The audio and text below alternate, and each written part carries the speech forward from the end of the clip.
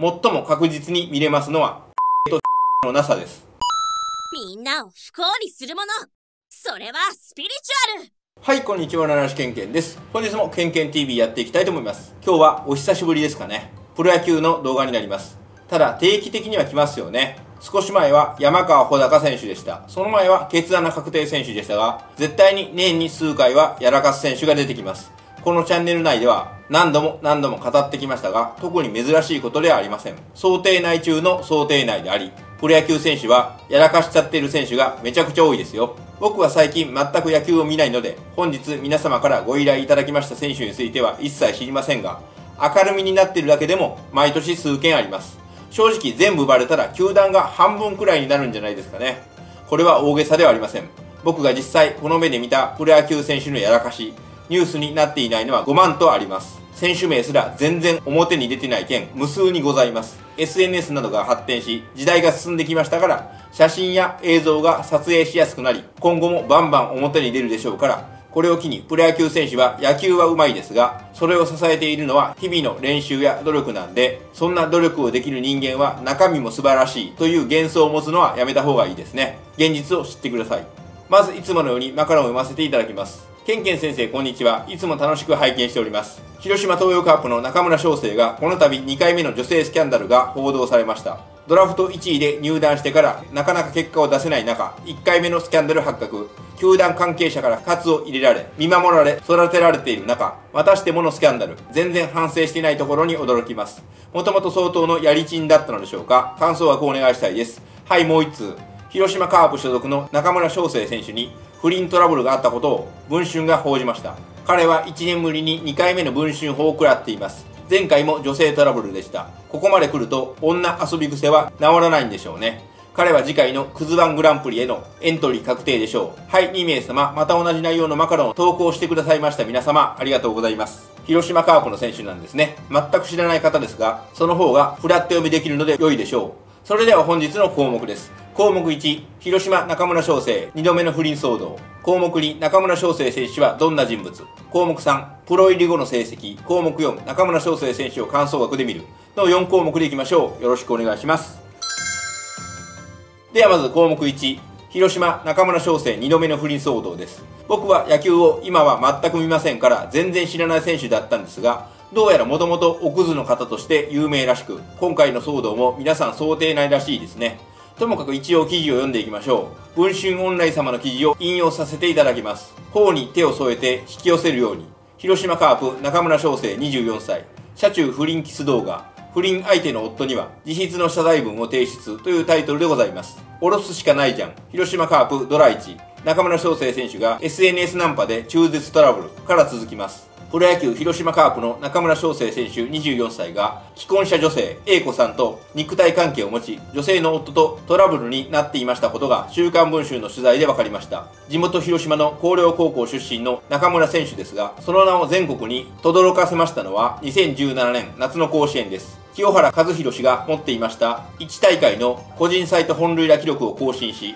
チームを準優勝に導きました。同年のドラフト会議では高校生保守としまして史上初めて2球団からドラフト1位指名を受け広島カープが交渉権を獲得しました。契約金1億円に出来高分5000万円年俸800万円推定で入団しました。しかし大型保守として期待されていましたが6年間で本塁打は2本のみです。ファームでは好成績ですので今年も何度か1軍に昇格されましたが結果を残せず定着できませんでした。とスポーツ指揮者は語りました。中村選手をめぐりましては週刊文春が昨年10月 SNS ナンパで卑猥写真を送りカープドラ1中村翔成の中絶トラブルと題する記事を掲載しました。SNS で出会いました女性を妊娠させだから下ろすしかないじゃんと中絶を迫ったことなどを報じました。当時中村選手の代理人弁護士は関わりがあったことのある人物との同一性が確認できませんのでご質問にお答えできませんと回答しています。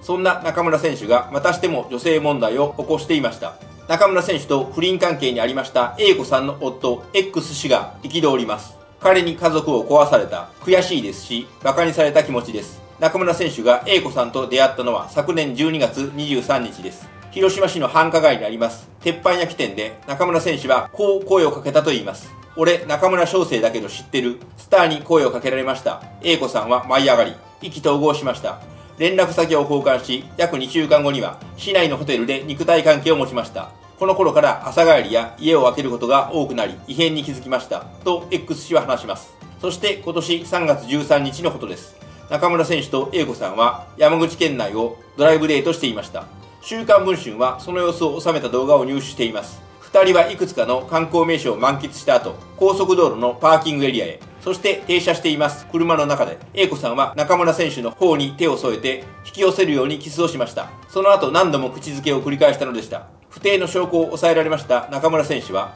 3月26日に X 氏と面会をします。自筆の謝罪文を提出しました上で500万円を解決金として支払う示談書を作成したのでした。解決金として500万円という金額は私から提示したものではなく中村側から持ち込まれたものです。特に異論はなかったので私も同意しお互いに署名捺印しました。と X 氏は語りました。中村選手は今どう思うのでしょうか。宮崎で行われています。フェニックスリーグの試合後中村選手を直撃しました A 子さんと不倫関係 A 子さんは結婚していましたあれについては示談で済んでいるんですけど500万円を支払ったそれはもちろん。で、僕的には相手が婚姻関係にあったということは知らなかったというのは伝えているので、それだけは伝えておきます。現在配信中の週刊文春電子版では中村選手と英子さんの不倫キス動画を公開中です。合わせて2人が出会った詳しい経緯、たびたび行われていました大瀬の様子、中村選手が提出しました自筆の謝罪文、そして中村選手との詳しい一問一答などについても報じています。はいという記事でしたが、文春の記事のインタビューの受け答えで、もともとクズですが、さらに思っている以上の最低クズ人間であることが500%確定しました。受け答えの言葉って大事ですよね。感想学は顔や容姿のみで見るものではなく、所作や喋り方、文言で読み取りますから、分かりやすすぎるくらい分かりやすいダメな返事でした。それは後ほど話しましょう。それでは次の項目です。占いバスターズ項目2、中村翔成選手はどんな人物です。僕の元へのマカロンや動画コメントを見ていますと、皆さんが必ずクズとかゴミ的なことを一緒に書かれていますが、僕はそもそも問い合わせをいただくまで1ミリも知らない方でしたから、まず感想学の前にどういった人間かを確認していきましょう。僕と同じように、このチャンネルの視聴者層でしたら、野球に興味ない方も結構多いですから、同じように知らないチャンネル登録者様も多数いると思われます。中村翔成選手は1999年6月6日生まれの広島東洋カープに所属しております。広島県出身のプロ野球選手でございます。右投げ右打ちです。3歳の時に両親が離婚してからは広島東洋カープの熱狂的なファンであります母の下で育ちました。小学校1年時から少年野球クラブで軟式野球をスタートさせました。小学3年生時から保守に転校しますとフルスイングでフライを打つという指導方針のもとで小学5年生時から俊足と長打で頭角を現しました。廿日市市立大野東中学校時代には軟式野球のチームの大野シニアベースボールクラブのメンバーとして3年時に広島県大会で準々決勝進出を経験しました。地元の広陵高校へ進学してからは1年春の広島大会で背番号20ながら正捕手の座を確保しています。同年夏の選手権広島大会から背番号2を着用しますと3年時の夏に広島代表として出場しました。第99回全国高等学校野球選手権大会ではチームを10年ぶりに4度目の準優勝に導きました。また準決勝までの4試合で3試合連続本塁打や2度の1試合2本塁打を含みます。6本塁打をマークしています。1大会におけます個人最多本塁打記録を更新しましたばかりか、準決勝までに通算で17打点を挙げましたことにより、1大会におけます個人最多打点記録を樹立しました。花咲徳春高校との決勝では、1大会個人最多塁打記録43や、1大会個人安打19本、2塁打6本の最多タイ記録も達成しましたほか、1大会中5度及び出場全5試合での猛打賞という史上初の快挙も成し遂げました。広陵高校への在学中に対外試合で放ちました本塁打は通算45本で第99回選手権大会決勝の直後には両親が離婚してから自分が中学校を卒業するまで女手一つで自分を育ててくれた母親を楽にさせたいとの思いから NPB ドラフト会議での指名に必要なプロ志望届を日本高等学校野球連盟へ提出することをいち早く表明しています一旦ここで区切りますそれでは次の項目です項目3、プロ入り後の成績です。項目1で話しましたように、高校卒業後はドラフト1位で広島カープに入団しました。2018年は前述しました高校時代の実績からいくら騒がれましても体格や体力が1軍のレベルに達していない限り特別扱いはしないという2軍監督の方針のもとで2軍生活に終始しましたウエスタンリーグ公式戦83試合に出場しますとチーム内の保守で最も多い51試合でマスクをかぶりましたが打率2割0分1厘、4本塁打16打点という成績にとどまりました。シーズン終了後のフェニックスリーグで故障したため、秋季キャンプへの参加を見送りました。キャンプ後の契約交渉では、推定年俸800万円、現状維持という条件で契約を公開しています。2019年には2軍で迎えました春季キャンプの開始直後から右第一肋骨の疲労骨折で治療と3軍でのリハビリを余儀なくされました。実戦復帰となりました6月18日のウエスタンリーグの阪神タイガース戦で先発出場しましたが頭部に支給を受けて救急搬送されました。搬送先の病院で脳震盪との診断を受けましたが大事には至らず同月下旬からウエスタンリーグ公式戦への出場を再開しました。同リーグ公式戦では38試合に出場。フェニックスリーグへのフル参戦を経て前年参加できませんでした。秋季キャンプで入団後初めて1軍に昇格しています。キャンプ中の契約交渉では球団から初めて原稿を提示されています。2020年は春季キャンプのスタートを1軍で迎えながらレギュラーシーズンの開幕1軍入りを逃しています。ウエスタンリーグの公式戦では開幕直後から打撃が好調で7月下旬の時点でリーグトップの打率3割3分9厘を記録しました。7月25日に入団後初めての出場選手登録。翌7月26日の対横浜 d n a ベイスターズ戦7回表に代打で1軍公式戦へのデビューを果たしましたが以降も1軍公式戦3試合に出場しましたが通算4打席ノーヒットで8月8日に一旦登録を抹消されました。1軍の正捕手が相次いで戦線を離脱しましたことを受けて9月11日に再登録を果たしますが出場機会のないまま9月16日に登録を再び抹消されました。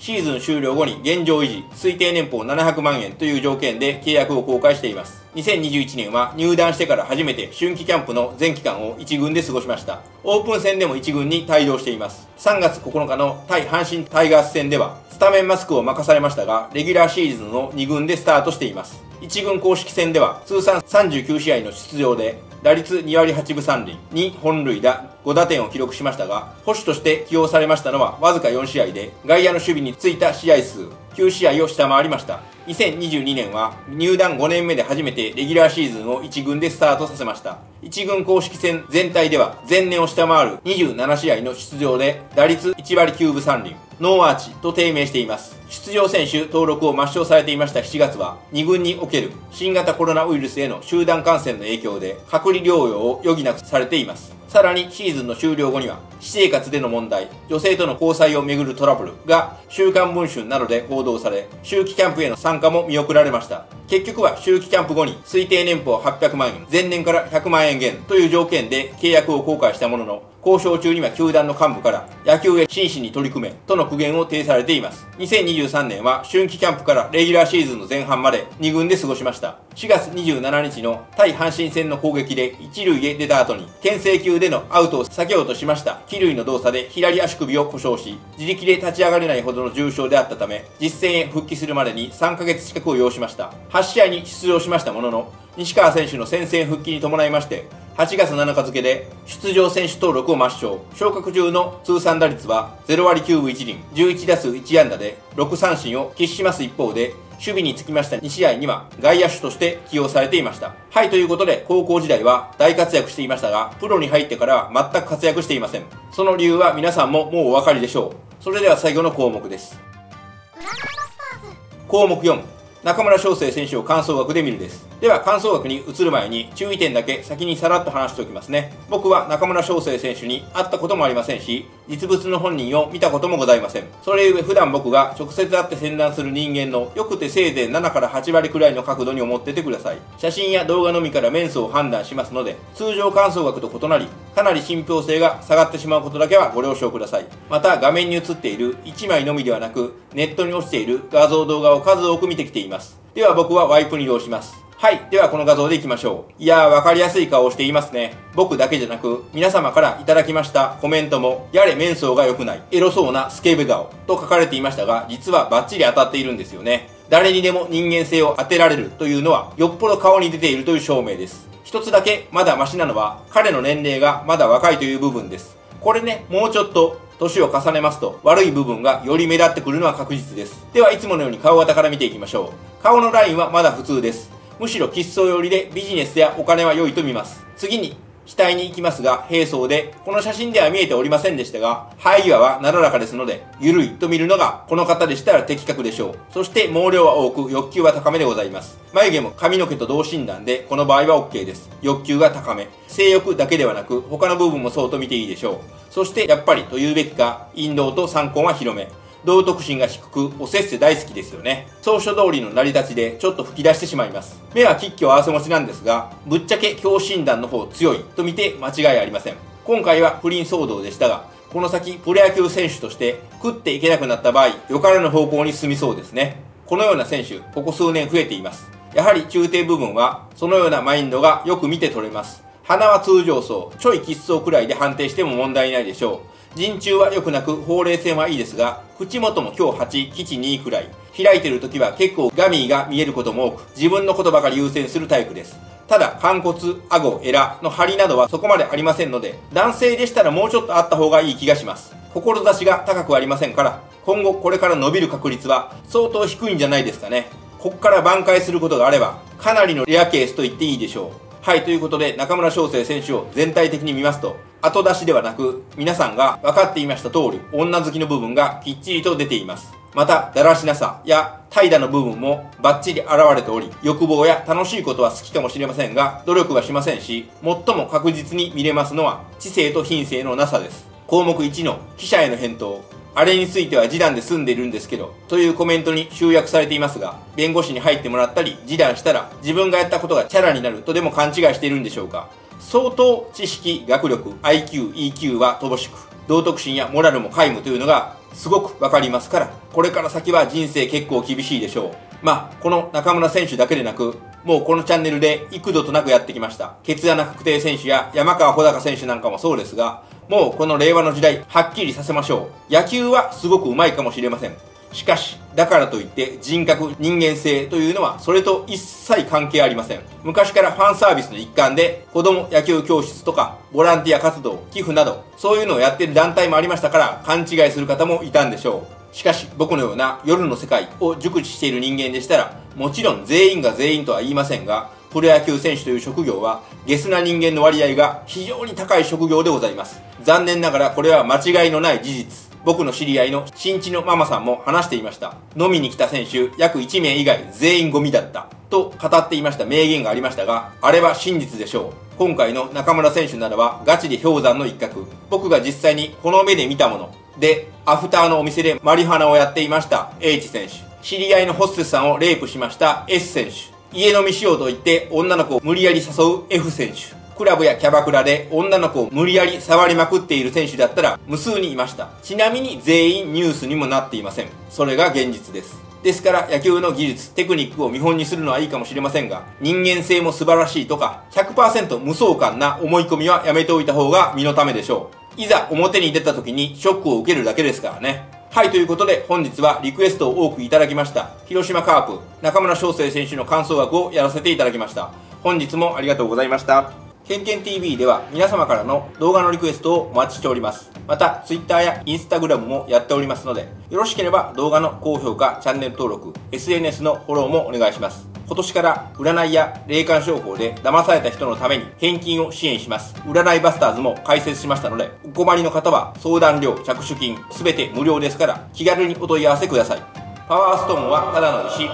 ご視聴ありがとうございました。